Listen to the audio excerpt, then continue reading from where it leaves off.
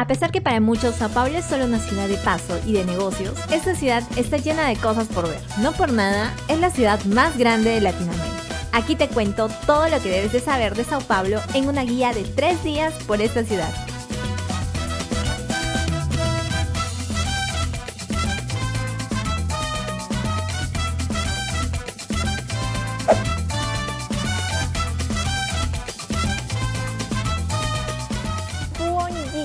Viajeros, estamos en el aeropuerto internacional en Sao Paulo, el aeropuerto de Guarulhos. Es uno de los tres aeropuertos que encontrarán aquí en Sao Paulo, en esta ciudad de 22 millones de habitantes, así de grande. Nosotros estamos ahorita en el Terminal 2, como verán ya no hay mucha gente. Aquí también podrán encontrar una casa de cambios. Yo aproveché para cambiar algunos dólares. Sé que no es lo más conveniente, pero Queremos probar también el transporte público mucho más rápido, así que por eso lo estamos haciendo. Desde aquí hacia el centro de la ciudad estamos a una hora aproximadamente, por lo que un taxi que normalmente recomiendan usar como Uber te cobra 100 reales aproximadamente. Pero también hay otras alternativas como usar transporte público, buses o trenes. Así que vamos a averiguar si nos conviene y aquí les cuento. Entonces lo primero que vamos a hacer es tomar el Shuttle que lo encuentras en la salida de todos los terminales. Es completamente gratuito y con eso llegaremos a la estación del tren en el aeropuerto, que por ahora está en la terminal 1. Llegando a la estación del tren debemos ubicar el acceso para comprar nuestros tickets y tomar la línea 13. Desde aquí la distancia aproximada hacia el centro de Sao Paulo es de 50 minutos. Bueno, hemos comprado nuestro pase para un tramo porque es lo que necesitamos para llegar a casa. Nos salió 4.40 reales. Aquí muy cerca van a encontrar igual los mapas de toda la ruta de transporte por metro. Entonces, ¿qué es lo que les conviene usar cuando se mueven en una ciudad tan grande como es Sao Paulo. Y dependiendo hasta dónde vayas exactamente, deberás hacer las conexiones necesarias con el Metro Paulista. El viaje es seguro y muchísimo más económico que en taxi. Sao Paulo, a pesar de no ser la capital de Brasil, es el centro financiero del país. Acabamos de salir de la estación de metro. Nos ha ido muy bien. La diferencia de tomar un taxi eh, básicamente es el tiempo y el costo, ¿no? Toda la red de metro está muy bien conectada. Nosotros ya nos vamos a ir a nuestro Airbnb que está a solo dos cuadras y, y ahí les cuento.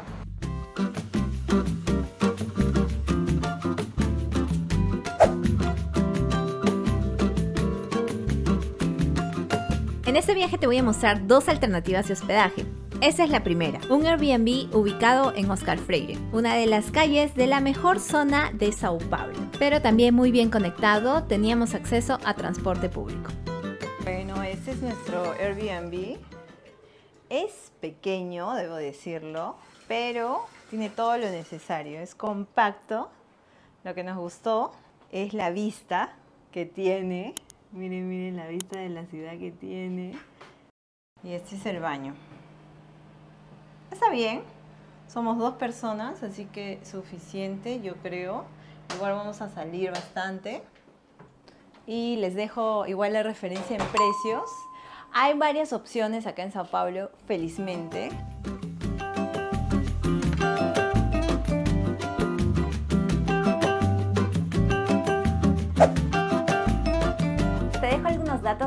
Conocer antes de llegar a esta ciudad. Número 1. La moneda local, como en todo Brasil, es el real brasileño. Si bien es cierto, debes de traer algo de efectivo, el uso de tarjetas de crédito es muy conveniente, ya que la tasa que te puede cobrar el banco te va a beneficiar. Igual, cuando cambies aquí, no lo hagas en el aeropuerto. Número 2. Los tomacorrientes. Aquí son tipo N, así que lo que te recomiendo es que traigas un adaptador desde tu país tipo N o tipo C. Número 3. Para el transporte no es necesario que compres una tarjeta, ya que si te vas a quedar poco tiempo no te va a convenir. Puedes comprar tickets de un solo tramo que actualmente cuestan entre 4.4 reales y te servirán para usar tanto en el transporte de metro como en los buses. Para pagar los tickets puedes usar también efectivo. Número 4. El idioma. Vente preparado con algunas palabras en portugués. Aunque solemos creer que el portugués es muy similar al español, no siempre vas a entender fluidamente todo. Así que te recomiendo que vengas preparado para eso. Ahora sí, con esos datos vamos a conocer esta ciudad.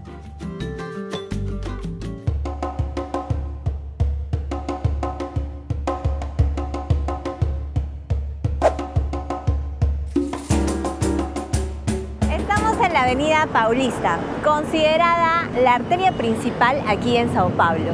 Centros financieros, bancos, monumentos, consulados, entre otros. Tienes que recorrerla ya sea a pie o en bicicleta. Vas a encontrar en el medio ciclovías que te ayudarán a recorrer los 2.8 kilómetros que tienen esa avenida. Así que vamos a conocerla juntos.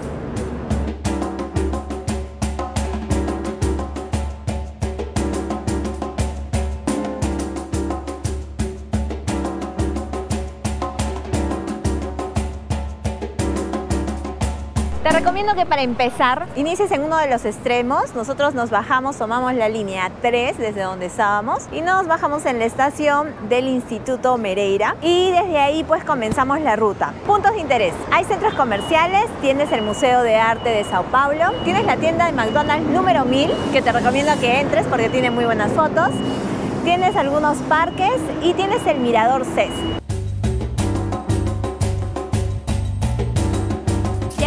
Por aquí, vamos a conocer el local de McDonald's número 1000 en Brasil. Para empezar, te darás cuenta que este local tiene nombre propio y está en portugués. Se llama Meki. Dentro encuentras esta super hamburguesa colgando del techo. Pero a nivel de comida no esperes encontrar algo especial, es similar a otros McDonald's en el mundo.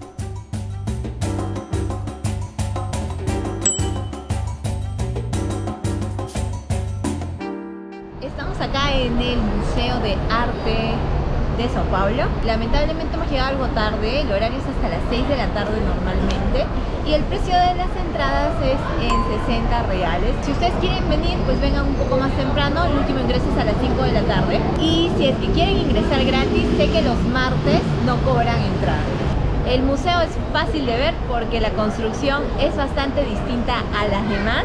Está elevada sobre unas columnas rojas. Pero no nos íbamos a quedar con las ganas y al día siguiente logramos ingresar, con un poco de cola previa, eso sí, de aproximadamente 30 minutos, pero al fin se pudo. Este museo, con una arquitectura distinta, elevado a 8 metros del suelo, es uno de los más importantes del país. Aquí les cuento lo que podrán encontrar en el Museo de Arte de Sao Paulo. Según sabemos, cerca de 10.000 piezas de arte provenientes de África, Asia, Europa y América, resaltando la identidad de los pueblos, incluyendo Brasil.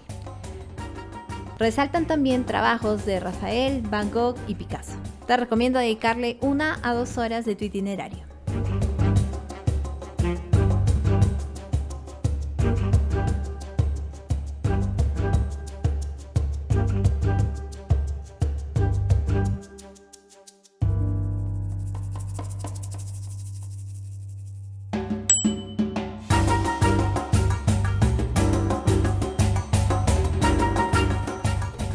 Para cerrar el día nos dijeron que en la misma Avenida Paulista encontraríamos este mirador. Está ubicado en el piso 17 y es la vista más alta que podrás tener de la Avenida Paulista.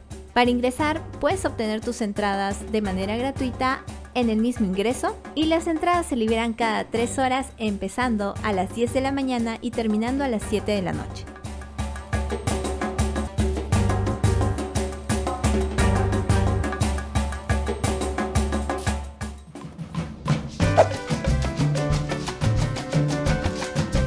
Desde que salimos del aeropuerto nos dimos cuenta que el transporte en Sao Paulo estaba en otro nivel.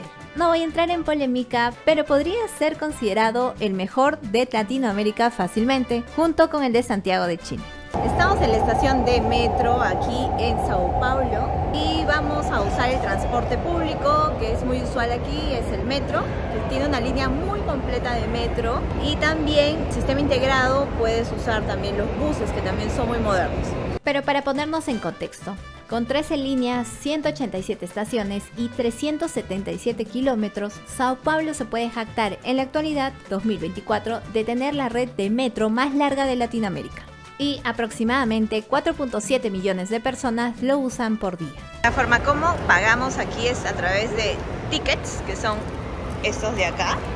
Estos te sirven para un tramo, un viaje. Para mí como extranjera fue mucho más fácil comprar tickets de manera individual ya que lo podía pagar usando efectivo.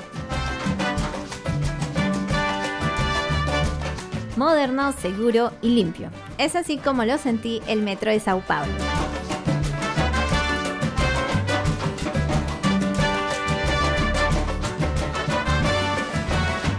También podrás usar los buses de la misma manera que el metro, de manera integrada, y se movilizan por carriles exclusivos, haciendo que el tráfico sea mucho más fluido.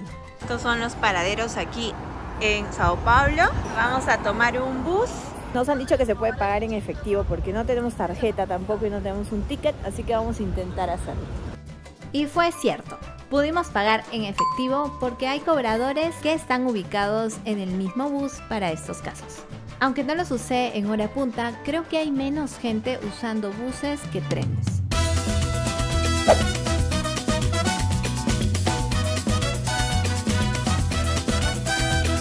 Estamos conociendo el primer lugar aquí en el centro histórico. Esta es la Catedral de Sao Paulo, una de las cinco iglesias góticas más grandes del mundo y la más grande de Brasil. Vamos a conocerla.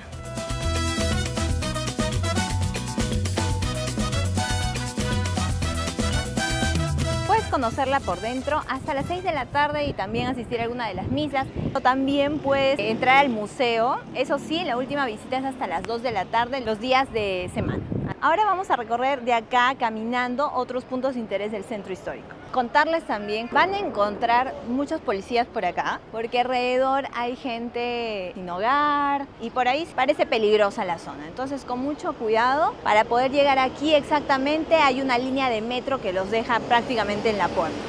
Y es cierto, desde que llegamos a Sao Paulo, muchas personas nos dicen que cuidemos nuestros celulares, cámaras y objetos personales, es decir, que andemos con precaución. Y si bien no hemos tenido ningún inconveniente, hay zonas que no pintan seguras y que pueden darte miedo, así que las vamos a evitar. Hay otras zonas que para nosotros se ven confiables, pero al ver policías debemos de suponer que no son tanto así.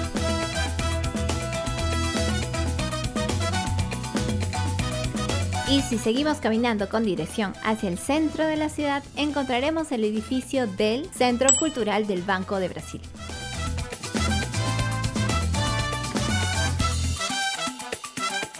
donde dependiendo de la fecha en que lo visites podrás encontrar diferentes exhibiciones.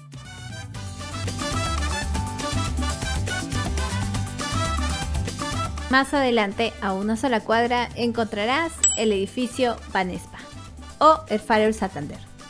Con 35 pisos, es uno de los rascacielos más emblemáticos de Sao Paulo, así que vale la pena conocerlo por dentro. Se inspiró en la arquitectura Art Deco del Empire State de Nueva York.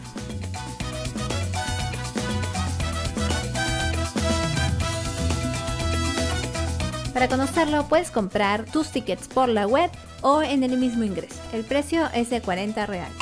Esta entrada te permite acceder al mirador donde tienes una vista panorámica de la ciudad 360. Así que buena vista.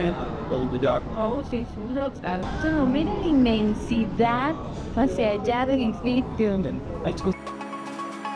Y también te dará acceso al museo, que fue lo que más me gustó donde te narran la historia del edificio y la importancia del Banco de Sao Paulo en la economía de Brasil de aquellos años. Hoy es propiedad del Grupo Santander, quienes remodelaron el edificio para convertirlo en un centro cultural.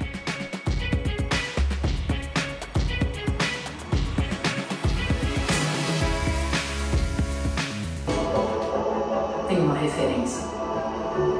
Centro de cultura, turismo, lazer e gastronomia que incentiva a transformação contínua das pessoas através da arte, novas ideias y experiencias. Camino hacia nuestro siguiente destino, pasamos por la calle 25 de marzo, que es una calle llena de comercio, muchas tiendas. Si pueden, échenle un vistazo. Dicen que si quieres conocer mejor una ciudad, debes de venir a su mercado principal. Ubicado en pleno centro, tiene más de 90 años de antigüedad y funciona hasta hoy como mercado de abastecimiento de alimentos.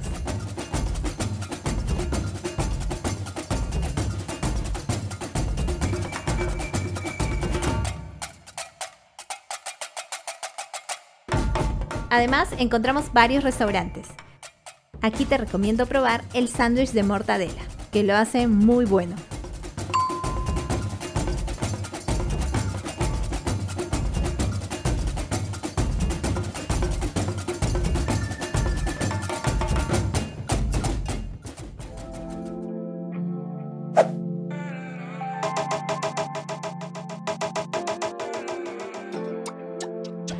Amigos, hemos llegado al parque de Ibirapuera, aquí en Sao Paulo. Es el parque más grande aquí en la ciudad, se considera el pulmón también de esta ciudad llena de edificios. Es bastante grande, fue construido en 1920 y la idea de, la creación de este parque pues era tener un parque similar al Central Park, así de grande, que sea un lugar de esparcimiento para los brasileños. Ha sorprendido la cantidad de gente, sobre todo niños, ¿no? que imagino que están también de vacaciones. Así que hay mucho movimiento, muchos niños con bicicleta, van a ver a gente haciendo deporte, patines.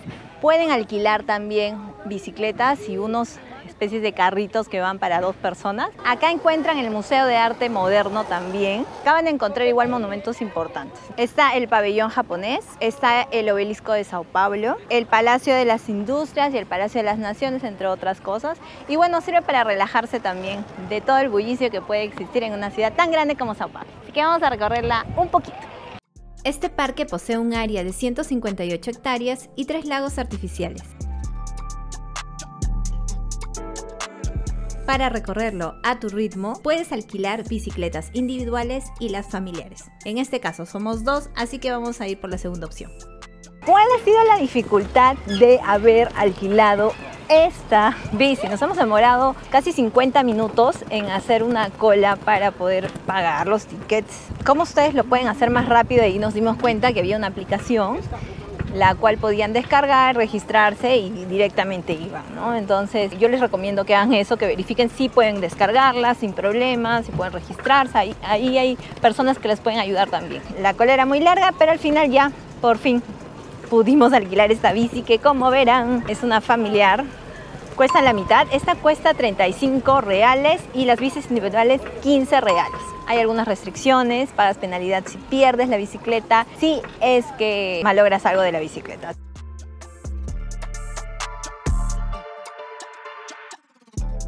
Para poder probar otra zona de Sao Paulo, nos mudamos a un hotel ubicado más cerca de la Avenida Paulista. Ok, entonces esta es nuestra habitación con cama queen, vista a la calle. Por acá, todo el verde de Sao Paulo. Tiene un área de trabajo, tiene su closet, su minibar y el baño, por supuesto. Bueno, nosotros acabamos de llegar, entonces acá les voy a dejar el precio de la habitación. Está muy bien ubicado, a pocas cuadras de la avenida Paulista, que es de las principales. Bueno, es una opción. Si es que no quieren estar en un Airbnb, pueden estar también en un hotel acá. Que hay muchas opciones también acá en Sao Paulo, por eso es una ciudad tan grande.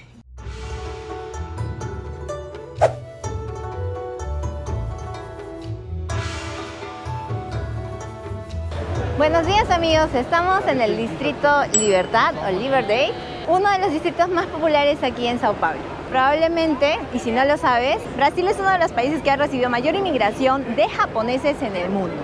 Y Sao Paulo es la ciudad donde vas a encontrar más inmigrantes japoneses. Así que vinimos a conocer este barrio y ver qué es lo que esconde. Nos dicen que vamos a encontrar buena gastronomía, algunos museos y nos vamos a tomar muy buenas fotos también.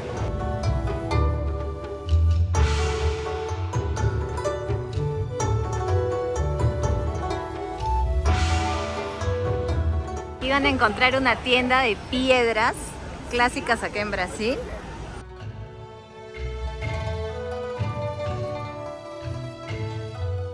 Entonces, para poder conocer mejor la historia de los migrantes japoneses, te recomiendo que aquí visites el Museo de Migración Japonesa.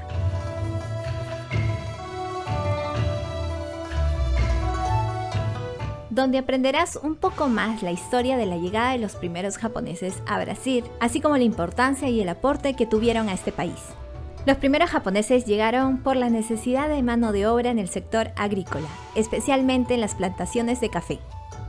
Se mantuvieron por años aislados en colonias, pero luego, poco a poco, esa cultura milenaria supo adaptarse a esta región y muchos se quedaron para siempre. Es así que hasta hoy Brasil es el país con mayor migración japonesa en el mundo.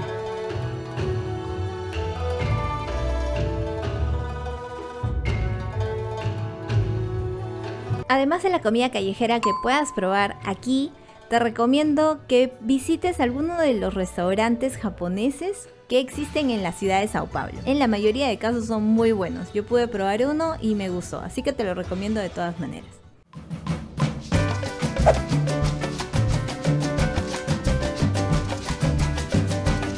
Ya más cerca a Villa Magdalena encontramos un callejón donde van a poder apreciar obras de arte callejeras como tal, el Art District de Sao Paulo. En este lugar van a poder apreciar diferentes obras de arte, por así decirlo, ¿Y por qué se llama Beko Batman? Porque entre las primeras pinturas que van a poder ver y que se crearon en este lugar en los años 80, pues fue la de este cómic. Entonces van a ver diferentes lugares igual donde estén las, las clásicas figuras de Batman y como tal el personaje. Igual recorran, es muy chiquitito, son como dos manzanas y el callejón principal donde van a poder ver no solamente las obras de arte, sino también diferentes artistas que ofrecen sus trabajos y que ofrecen algunas cosas para vender.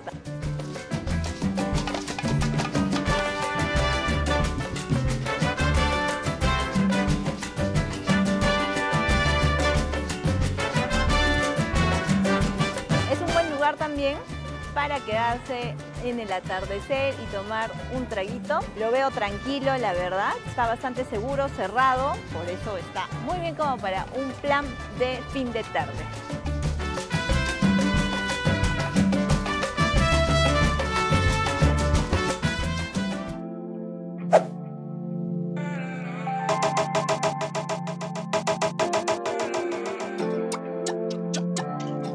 Para ir cerrando nuestro último día en Sao Paulo, vamos a conocer de cerca uno de los iconos de esta ciudad.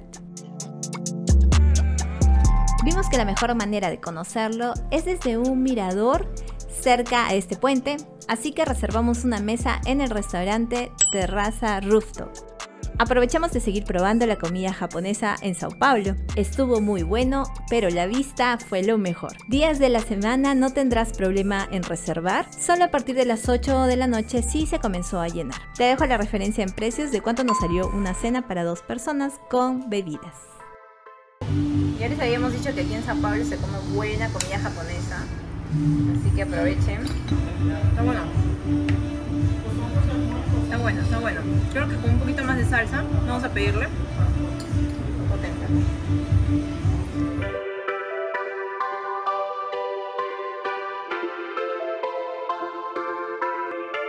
Han sido unos excelentes días en Sao Paulo, la verdad que sí se merece lo de la ciudad más grande de América, entre las más grandes del mundo. Así que te va sorprender lo que vas a ver. Sé que en este video te he tratado de mostrar lo máximo que puedas hacer en 3 o 4 días a lo mucho en esta ciudad. Como siempre, recordarte que no olvides de dejar un like si te gustó el video y de suscribirte al canal, seguirme en redes sociales porque seguimos subiendo más información. Esto ha sido Sor Pablo, desde aquí yo me despido hasta el siguiente video.